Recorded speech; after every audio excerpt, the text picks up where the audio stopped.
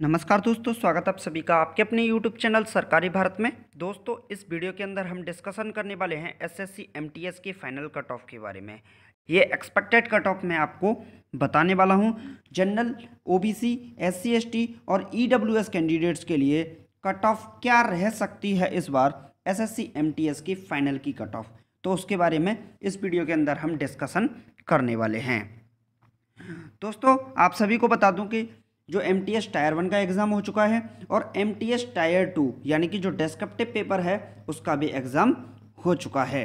तो उसके लिए अब फाइनल कट ऑफ़ आनी है। तो फाइनल कट ऑफ़ सबसे पहला क्वेश्चन है कि कब आएगी?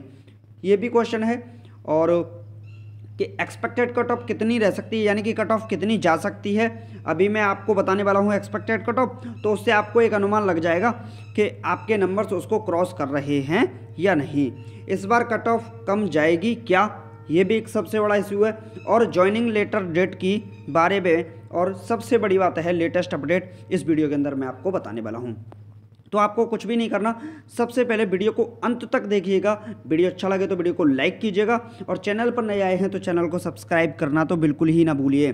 चैनल को सब्सक्राइब कीजिएगा ताकि नोटिफिकेशन आपको मिलते रहे और आप मेरी वीडियोज़ को देखते रहें। वीडियो को शेयर कर दीजिएगा। तो चलिए दोस्तों, स्टार्ट करते हैं अपनी इस वीडियो को। तो सबसे पहले मैं जनरल की कट ऑफ़ के बारे में डिस्कशन करने वाला हूँ।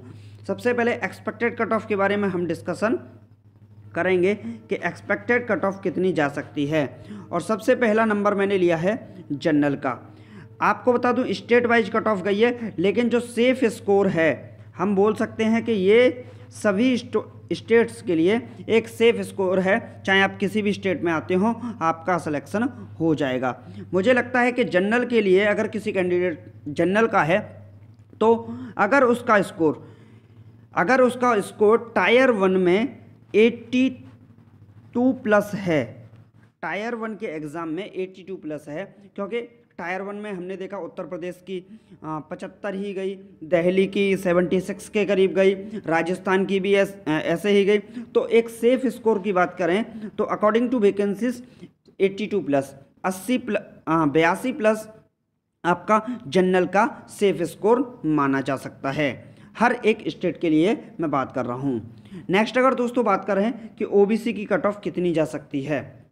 ओबीसी की कट ऑफ़ जो मैं आपको एक्सपेक्टेड कट ऑफ़ बता रहा हूँ, इसमें दो से ढाई नंबर दो से तीन नंबर ऊपर नीचे हो भी सकता है। नेक्स्ट अगर ओबीसी की कट ऑफ़ के बारे में बात करें तो अगर किसी के सेवेंटी एट प्लस मार्क्स हैं सेवेंटी एट प्लस मार्क्स हैं, चाहे उस स्टेट की कट ऑफ़ चाहे कितनी भी गई हो 78 प्लस मार्क्स हैं तो वो एक सेफ़ स्कोर बोला जा सकता है, हो सकता है उसका हो जाएगा।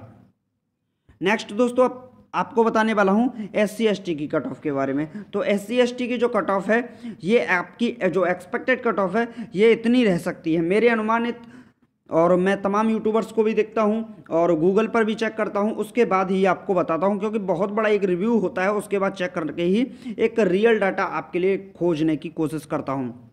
अब आपको बता दूँ कि एस सी की कट ऑफ़ कितनी जा सकती है।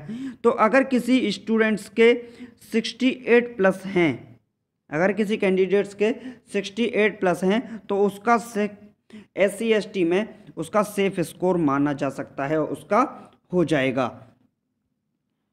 नेक्स्ट अगर दोस्तों बात करें ई डब्ल्यू एस जो कि सबसे कम मैंने लिखा है, सबसे कम लिखा है। तो ई डब्ल्यू एस तो इसकी जो कट ऑफ़ है, ये आपको बता दूँ सेवेंटी फोर प्लस दो नंबर ऊपर या दो नंबर नीचे हो सकता है, ये ई डब्ल्यू एस के लिए। अब आपको एक चीज़ और बताने वाला हूँ मैं, कि टायर टू का जो एग्ज़ाम हुआ था, जिसमें जनरल के जो कैंडिडेट्स के थे, उनके लिए फोर्टी परसेंट कंपल्सरी है। फोर्टी परसेंट कंपल्सरी है। ये आपको लाना ही लाना है। And O B C S C S T की बात की जाए तो इसमें आपको तैतीस परसेंट लाना है। यानी कि जो पचास नंबर का पेपर हुआ था, उसमें से साढ़े सत्रह नंबर आपके आने ही चाहिए। कम से कम साढ़े सत्रह नंबर के करीब आपके आने चाहिए, तभी आप टायर टू एग्ज़ाम को क्लियर कर पाएँगे। तभी आप टायर टू एग्ज़ाम को क्लियर कर पाएँगे। नेक्स्ट अगर दोस्तों बात करने वाले हैं हम क्या इस बार कट ऑफ़ कम जाएगी? तो हाँ पिछली बार की तुलना में अगर वैकेंसीज को देखा जाए, दोस्तों वैकेंसी को देखा जाए तो पिछली बार की तुलना में थोड़ी सी वैकेंसी इस बार ज़्यादा है तो आपकी कट ऑफ़ कम जा सकती है। नेक्स्ट अगर बात करें ज्वाइनिंग लेटर डेट के बारे में तो इस वीडियो के अंदर मैं इस बात को बताने वाला बिल्कुल भी नहीं हूँ। नेक्स्ट वीडियो के अंदर इस बात के बारे में बताने वाला हूँ कि ज्वाइनिंग लेटर डेट आपकी क्या है। तो उसके लिए आपको कुछ भी नहीं करना। हमारे चैनल को सब्सक्राइब कर दीजिए, वीडियो को लाइक कर दीजिए और वीडियो को शेयर कर दीजिए फेसबुक, इंस्टाग्राम, टेलीग्राम और व्हाट्सअप के जहाँ जहाँ आप जुड़े हो अपने दोस्तों के साथ, उन सभी के साथ इस वीडियो को शेयर कर दीजिए। दोस्तों, उम्मीद है आपको आज का सेशन अच्छा लगा होगा। अगर आपको सेशन अच्छा लगा तो वीडियो को लाइक कीजिए, चैनल को सब्सक्राइब कीजिए और शेयर कीजिए। Thank you thank you for watching this video जय हिंद, जय भारत। टेक केयर मिलते हैं अपनी नेक्स्ट वीडियो में कुछ इसी प्रकार के टॉपिक्स के बारे में। और एस एस की अपडेट्स मैं आपको समय समय पर देता रहूँगा।